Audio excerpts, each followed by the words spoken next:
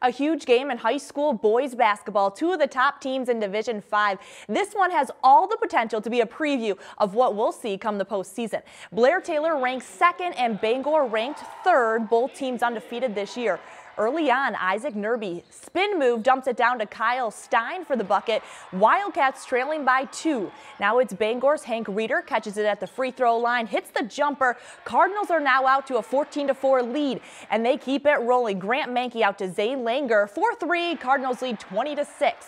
Now in the second half, Wildcats trying to get back in it. Kane Fremstead with a runner along the baseline, but they're still still trailing by 15. Bangor closing it out. Grant Mankey goes up strong, draws the foul, and count the basket.